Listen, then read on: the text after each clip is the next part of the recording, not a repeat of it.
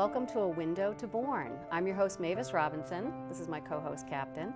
And, uh, and today I'm welcoming John Carafoli to the show. John, thanks for being here. Thank you for inviting me. Well, I'm so, I'm so pleased that you're here because um, we're here. You're, you're, you grew up in Bourne, is that correct? I grew up in Sagamore. Sagamore, okay. Yeah. So the yeah, people from Sagamore like to, like to make the distinction. yes. Well, it's the village of Bourne, right? Right, yes, yes. Yep. So you, you grew up in Sagamore, um, and you came to my attention because of um, your your recently published book, "Great Italian American Food in New England," which uh, we which we actually um, featured a program on at the Bourne Historical Society. So I really I want to talk to you about your your childhood in, in Sagamore, but I also want to pick your brain about your experience as um, being an author. So, uh, so you're, you're an author, you're a food stylist. Tell me more about. Uh, All right. Well, I started off, uh, I left Cape Cod when I was 20 years old. I packed a bag and went to Chicago. Okay. And I, my first job was with the University of Chicago Press. I worked as a designer. Yeah. And um, then from there, I went and worked in publishing houses uh, as designer. Um, I continued my painting because I was a, I went to the School of the Museum of Fine Arts. Oh, okay. And um, then went off to uh, one of my. I worked for several magazines. One of them was Playboy. Okay. And um, I was an art director there, and life went on.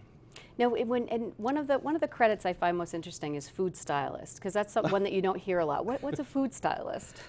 Well, a food stylist is, is, a person that makes food for photography. Okay. For 18 years, I did everything that that you saw in the shops and on TV for Dunkin' Donuts. Oh wow! Yeah. Okay, so you're the one who makes those donuts look so irresistible yes, and delicious. Yes, all right. right all and right. Um, then I got to the point where I had I worked in New York. I had an apartment in New York, and I worked back and forth.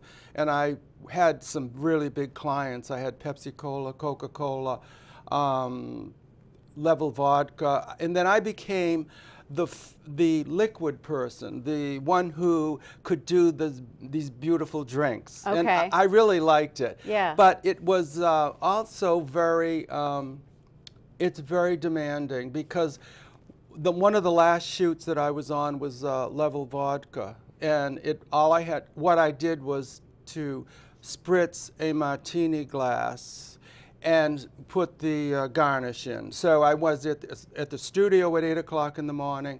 I, everybody was there. I had all these garnishes laid up. I had the drinks, the uh, glasses. And it went, that shot, that photo shoot went until 2.30 in the morning. Oh my gosh. it was because the photographer was a fashion model, mm -hmm. and they had already shot the fashion, mm -hmm. the people holding the glass.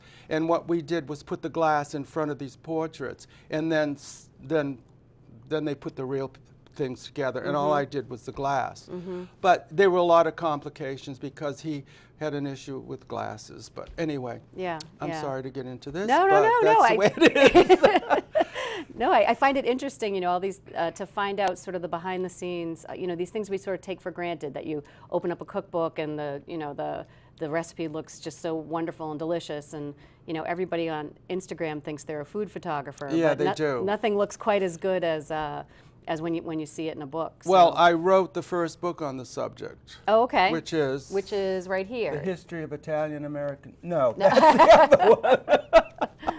food photography and styling. Okay. And I did this, and it was the first book on the subject. Mm -hmm. So when um, when I did it, uh, I was criticized for blowing the secrets. Okay. Well, you know, there are no secrets because it's using common sense. And if you've got some talent behind it, I have an art background, so I think of these photographs as paintings. Yeah, yeah. But so. you're like the magician telling people how the trick is done.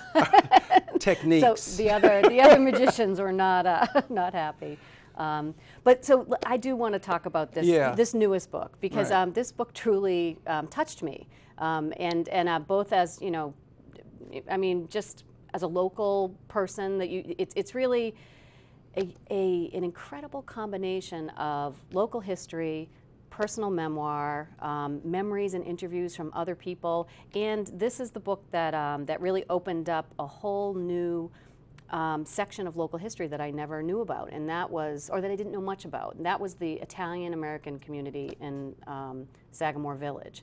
So that's that's where you grew up, and you write very um, evocatively of that in, in this uh, in this book, which is Thank you. a personal story about you in some ways. So so tell me some of those uh, those memories. I mean, I, I have in, in my mind the, a picture of you in these various kitchens of these you know um, grandmothers, aunts, these Italian female cooks, and sort of learning next to them about uh, about your heritage. Do you uh, can you share one of those memories with us? Well, yeah. Um, my grandmother, we lived, my father, mother, and my aunt, we lived with my grandmother and grandfather. And they had just, they, not had just, they were, came from northern Italy. okay, so they were they spoke Italian. Oh, everybody spoke Italian Yep. in the house. And yeah. so they immigrated through Ellis Island with. No, they. Okay. im- I that was my. I did some research Yeah. on that. Excuse me. They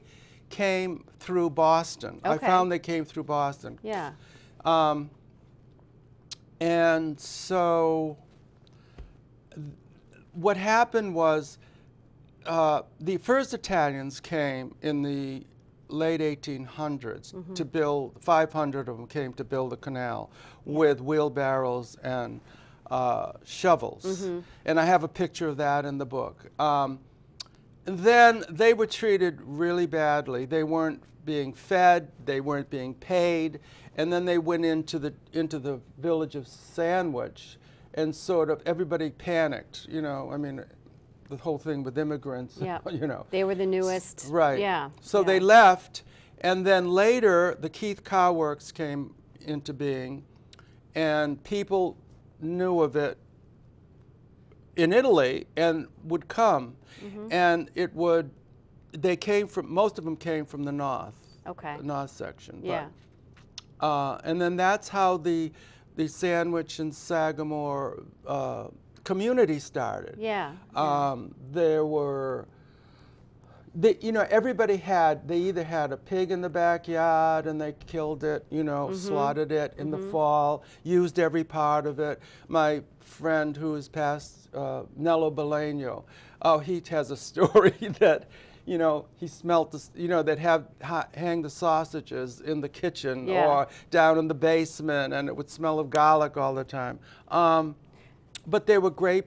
My grandfather had his own vineyard. Um, most of vineyard- most of the people. So right? he was growing his own grapes. Oh yeah. In Sagamore. Yeah, Wow. but they would import some of them. They would have uh, a supplier where everybody in the village would go and get more grapes Yeah. because they didn't have enough to make their own wine. Yeah. Some of them didn't. Do, But do you remember your grandfather making wine in, in the basement, or did you, did you just um, see it? I knew this. I could smell that this fabulous smell, and he would, for instance, excuse me, he would uh, take me down, like for instance on a dinner or something, Mm-hmm. and he would cook in the coals of the fire down Okay. in the furnace. Yeah. Oh, wow. And I would watch him, and what, now, he- what's he cooking? Is a steak. Okay. uh, you know, in, Yeah, in these yeah. in the grill yeah. and um, then um,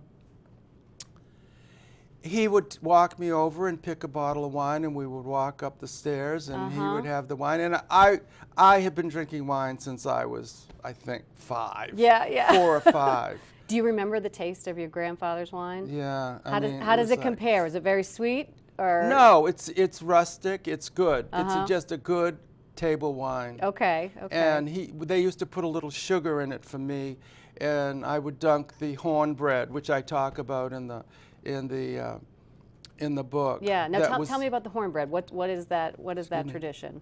The hornbread is originally it's a recipe from Bologna, Mm-hmm. Italy, and um, it was baked in the basement of Louis Market. Okay.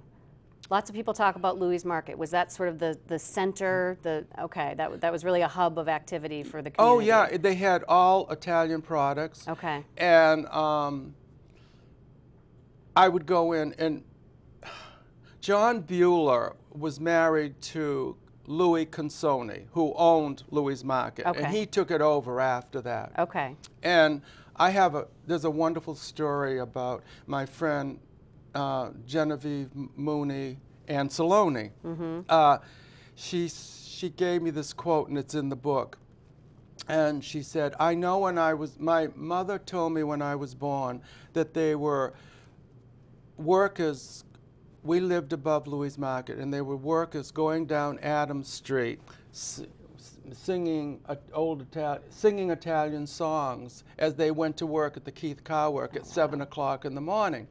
And at that time, my father, Augusto, was baking bread in the basement, and this is why I love bread and music, or Oh, music wow. and bread. Wow. To Isn't be that bo- sweet? to be born into that. Yeah. Yeah. Yeah. The smells and the sounds. I just did a um, another a book signing at the Sandwich Public Library, and she was there. She's nine. She was sitting in the front in a wheelchair. She's still bright, and she was right there in the front. So and now- she's 90, 96. and as part of the process of writing this book, did you did you interview people um, who still live in, in Sagamore, or was, was it mostly from your memories? Oh no no no no! I have been collecting this for years. Yeah. I've been working on this uh, uh, practically, I could say, all my life, Mm-hmm. because um, that quote from Genevieve Mooney Anceloni, I did that. I realized I did that in 19, 1999 or something when I was talking with her. Yeah, yeah. So you sort of have been collecting these uh, these stories, and Yeah. yeah, yeah. Now and now they're they're all together in, in this incredible book. I have to. I, one of the ones that I really enjoyed was um, you told a story about um, of um, was it Ro- uh, Rosa or Rosina. Rosina with the Buffetti, mushrooms? Yeah, yeah, yeah. Who lived next door to me. I think I had just started, well, I was cooking, I started cooking when I was young after my mother died. So it, I saw her come alongside of the house and she had this, her dark socks and a long dress with. Yeah. an apron. And the apron was full of uh, mushrooms. And um, that she'd collected from the woods. Yeah, yeah. Okay. yeah. Yeah. Just wild mushrooms. and so I said, "Oh gosh!" And then I wa- I went into I went into the house and I watched as She's picking them, and so I decided that I'm going to pick mushrooms. So I went the next day, and I picked all these mushrooms. She's t- picking the good ones out, and the bad ones she's throwing away. She's doing this and this, and she said, "Now you go home and you cook it with a parsley, a, a, a couple leaves of parsley, a silver spoon, and uh, a, lo- a piece of bread." So I ran home, not thinking. I mean, I just did it. Yeah. And um, so I went back to her and I said, Rosina, I understand about the parsley, if it turns a color, if the silver, you know, tarnishes. But what about the bread? Oh, if you give the bread to the chickens and the chickens die, you don't eat the mushroom. I love that. That's one of my favorites. Yeah, I yeah. mean, she was a wonderful woman. yep. Yep. They all were. Do you have any recipes that you still make that you learned from uh, from from those days? Oh yeah. Oh yes. Um, there's something called uh, Savor, and my friend Mafalda Maiolini, Mm-hmm. Mafalda. I Um, love that name. Muffy. They used to call him Muffy. Muffy. She, we became really good friends, and um, she would do. And I wrote this for the New York Times. It's, it was in the New York Times, and it was. And I felt it, w- it should be in the book, and it is. Mm-hmm. And it's done with dead ripe uh, fruits f- at the end of the season okay. and it's, you put a bottle, you, it's done with a bottle of wine, and at the end, you puree chestnuts and fold it into it. Yeah. Yeah. Some people fold, do it with squash. Everybody has a version of it. Yeah. Well, I used Mafalda's, and she cooked it for seven days. Oh she gosh. turned the turn it off at night, turn it on in the morning, and she used aluminum pans, which I thought was Yeah. kind of fun. yeah. Because I asked her once, I said, "What do you do? You have any new equipment?" I was doing an article on equipment. Mm-hmm. She said, "Well, I have the ones that I have when I got married." And I said, "Well, do you have anything else?" I don't need anything else. They all, they, I can use it them. works. They right. works. Right. Right. Anyway. yeah. So Yeah. it's done. I did it. I've got it down to three days. Mm-hmm.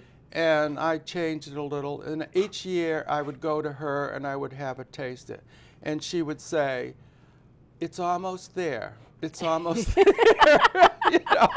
she would want you to do four more days if it was up no, it was. Now, uh, what, what, what, what do you end up with? Is it like a sauce? Is it no, it's a very, there's no sweetening in it. Okay. It's done, it's like, it's black, Yeah, literally black.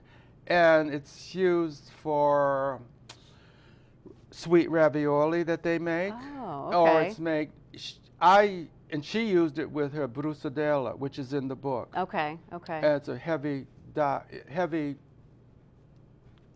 like cake. yep, yep. And so, I, you to do it in two rolls, and you put the savour in the middle of it. So it only it almost becomes a seasoning in of itself. It's not a dish that you would just eat. No, yeah, no. Yeah, yeah. and Oh, you could use it as a side for um, poultry. Or, Yeah, yeah.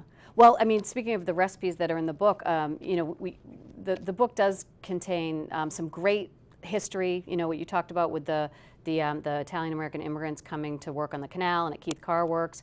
Also, some personal stories. But then beyond that, you move on to almost a, a travel log and and a survey of other great Italian American food in New England. Not just Right. you know, not just Bourne, not just Cape Cod. Um, how did you pick where, Well- where you were going to go? well, the way I picked it was, excuse me, I uh,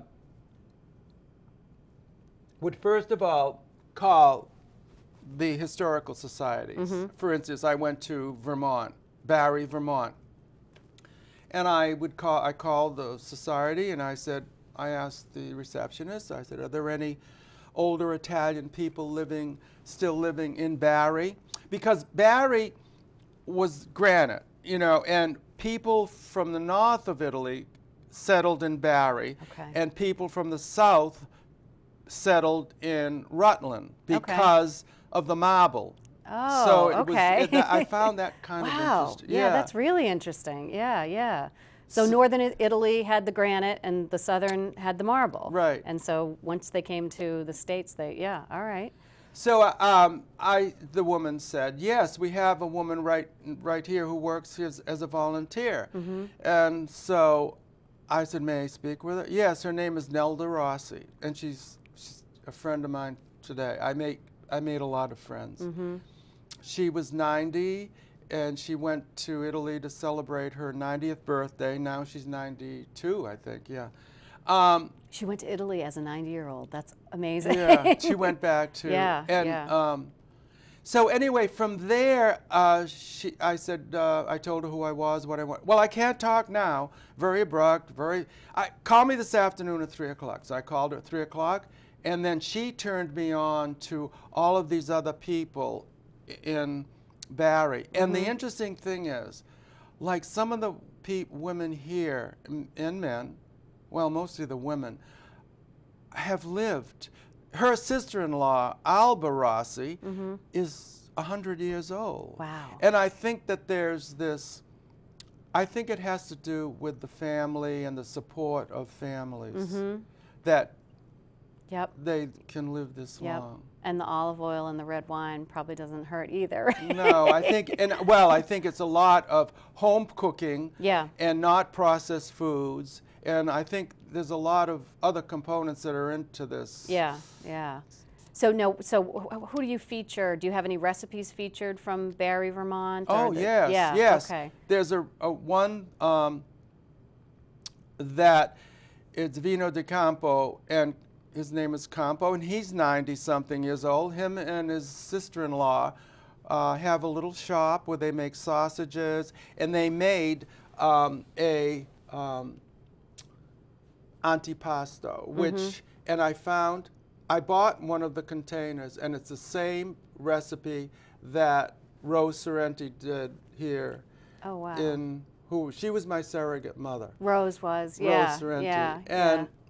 she her recipe and I got her recipe and I printed it just the way she had wrote it. So And- it's actually in her handwriting. handwriting. Oh, that's beautiful. and it says up in the corner, the cost was forty-five dollars and it makes eighty quarts or Uh-huh, something like uh-huh. that. No, eighty, eight quarts. eight quarts. Yeah. Okay. yep, yep. Um, Now, now the antipasto, it would just be sort of mixed in advance? I mean, you know, Yes. almost like it was pickled. pi- Yes, so it saved as like a pickles. pickle. Yeah. Okay. Olive oil Yep. and um, a lot of canned things like cauliflower and or you could use fresh cauliflower. Yep. Um, yep. Yep. So the secret to Rose Sorrenti's uh, antipasto's in here as well. And she preserved it and put a uh, anchovy or sardine on the top and then preserved it. oh, it. okay. So that sort of salted and flavored the whole thing. That's a great tip. That's a really good one. Oh, yeah. I yeah. always use anchovies as a f- even in stews. I would throw an anchovy in. Yeah, yeah. Um, so now, uh, when I two of the the um, stories that popped out uh, as well were about some of the local institutions in Bourne, the Mezzaluna and the Sagamore Inn, and those were two places Oh, yeah. that you featured. Um, can, can you tell us a little a, a little story, a recipe about about each of those? Yeah, I have uh, Shirley's recipe for the her sausage, which in fact I just That's made from it the the other the day. Sagamore Inn. Yeah, Okay. the yep. Sagamore Inn. I made it the other day, and uh, it's a very simple sausage. I got ground um, pork, and um, you have to. It can't be ground too fine. Mm-hmm. So I usually grind it myself, or I have the butcher at Whole Foods do it for me. And I said, don't put it on three grinds, but just put it on one or two. And um, and then she, you take a piece of garlic and smash it, several Mm-hmm. pieces, and tie it in a little bag or a little cheesecloth, Yep. and put it in some wine, a cup of wine, Okay. And let it macerate overnight. Mm-hmm. And then the next day, you do your, you take your uh, pork, and you put as much of the wine in that has seasoned. Yeah. And I put, I think I ch- put some fresh sage in it. Okay. And so you're not getting chunks of garlic. You're getting No, the garlic is getting the infusing flavor. into the wine. Yeah. Oh, I love that. I'm going to use that one. um, now, what about the mezzaluna? What did you What did you discover there? They're, ro- they're stuffed um, shells with the ricotta cheese. Mm-hmm. yeah, yeah, yeah, yeah. I've had those. Those are amazing. Right. yep. Now, and actually, one of the one of the funny um, connections from the book was. Um, the the the great cannoli company that you talked about in, Ch- Oh, in yeah. Chelsea, Right. And that they're sort of like the the standard bearer for you know cannoli shells that all you know restaurants all over. use. They're all over. And as we were doing preparation for our event, we discovered that Market Basket actually carries I them. know, right. So so and I they have chips. they, and they have the chips, yes, because it's a lot easier to just put a little of the cannoli filling on a chip than it is to try to, to try to fill one of those cannolis. So I was pretty thrilled to know that um, that you know we could, we could get a little slice of something authentically Italian, you know, in, in Market Basket because you wouldn't necessarily expect that. So. Um, so, are there any other? Uh, what, what's what's your favorite recipe from this book? Oh, I'm all over the place. One of them, well, I learned from my grand, my great uncle, um, Zio Carabino. I called him Carabin, Carabing. They, everybody called him Carabing, which I thought was a slang for carafoli. Yeah.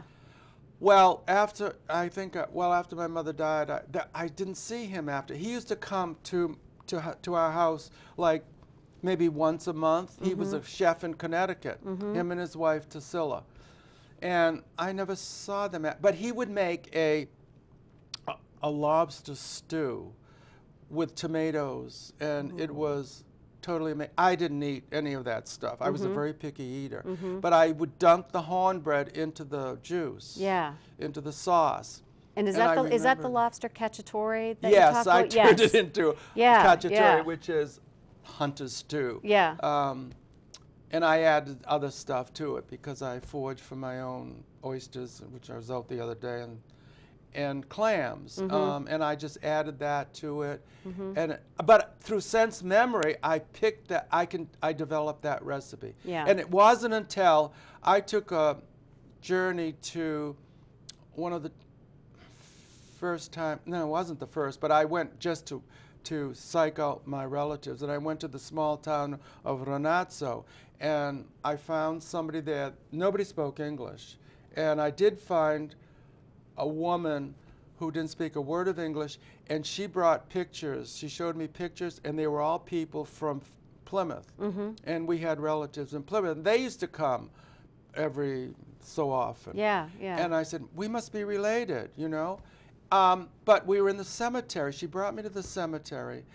And I found, she said, there's Andiamo. There was one more Carafoli. And it was in Italy, they put people in vaults okay, yeah. with yep. pictures, you know. Mm-hmm.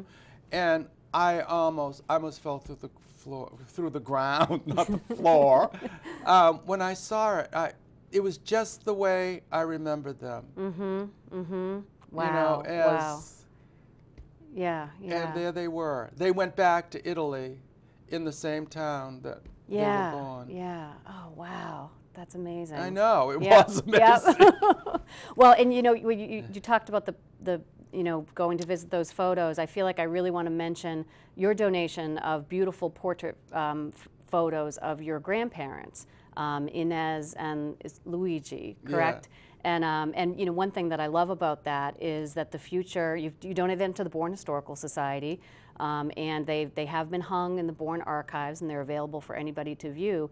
And so that future generations of Carafolis will be able to come visit and, you know, and look upon the, the faces, the familiar faces of, uh, of their ancestors. So you've really Well, kind I'm- of I- provided that for, for, you know, I'm generations very honored to come. that they're there because I didn't know what to do with them. You Yeah. know, um, well, and I found a place. And thank you for Well, taking them. They're in a place of honor, and, it, and it's really wonderful to, to have them there to document this wonderful history. I mean, this little, little Italy that we had in Bourne, um, that, you know, I, I think that I, I sort of knew about it. I knew about Louis Market, but learning about it in its full, um, you know, uh, richness is, uh, is really, really a treat and was one of the, the most special things about, uh, about reading this book. Um, so I actually bought the book for my, my uh, mother-in-law for Christmas. So where, if, if somebody watching would be interested in getting a copy of the book, what's, what's the best place for them to get it? Well, I mean, if they're out of town, if they're in town, just give me a call and I can get it to them. Yep. Or you can get it on Amazon. On Amazon? or uh, Titcomb's bookstore has it. Oh, great, good, good. Well, and we'll put a link to, uh, to our website as well to, uh, for a copy of this book. Really, it's a, it's a beautiful, um, I know you probably don't want to brag about it as much as I want to compliment you, because it really is just a beautiful memoir, very touching, and, um, and, and you really talk about very eloquently how food and family ties us to history, not just our personal history, but our roots, our local history, and, uh, and it really brought a lot of things together for me in a, in a wonderful way. So thank you for writing it, and, uh, and thanks for talking about it here with me today. You're welcome. Thank you. nice, nice to see you again, John, and, and thanks for joining us on A Window to Bourne, and we'll see you next time.